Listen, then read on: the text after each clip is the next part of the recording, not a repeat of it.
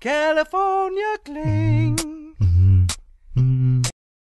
Hey everybody, it's Loren here, and it's time for Holiday Family Photos, Pet Edition. You might think that it's impossible to get your pet to pose for a picture with your family, but it's really quite easy. I'm gonna show you three simple things you need in order to have a great photo with your pets for the holidays.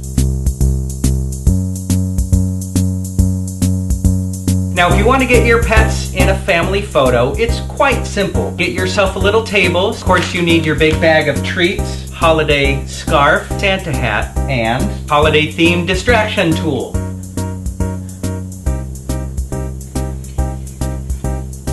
It's time to call your cats. Kitty, kitty, kitty, kitty treats. Oh, they'll be here in no time. Look, kitty, kitty, kitty, kitty treats. Just takes a second, they've been sleeping. Kitty, kitty, kitties. Come here, Beanie. If you had one cat, you'd be practically done by now. Frosty, come here. Beanie.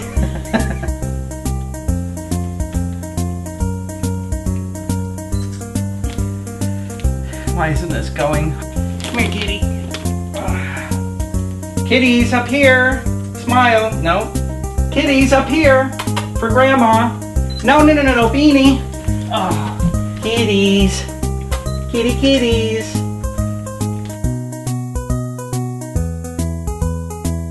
Okay, well you can see it didn't quite work out like I thought, but I had a lot of fun doing it and I'm gonna try it again next year.